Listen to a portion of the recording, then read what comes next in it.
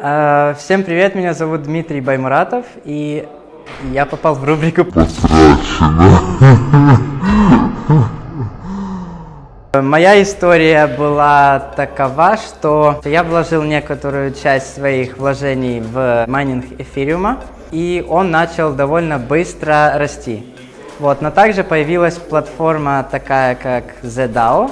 Вот, туда я тоже вложил небольшой кусочек. И я помню конкретную ночь, примерно около 12 ночи это было. Я смотрю на блог Folio, очень довольно популярное приложение, полезное, а, где показывала цену, собственно, эфириума и ZDAO. И я, собственно, смотрю, что эфириум на тот момент был 20 долларов. По тем меркам это было очень-очень много. И я думаю, окей, надо продавать. Вот. И я такой думаю, лежу уже в кровати, такой, не, не, завтра продам. Вот, на следующий день просыпаюсь, и что эфириум, что ZDAO, он рухнул, я не помню на сколько долларов. Вот, это как раз был день, когда произошел э, хак ZDAO. Урок с этого таков, что если у вас интуиция подскажет, что вам нужно продать, продавайте.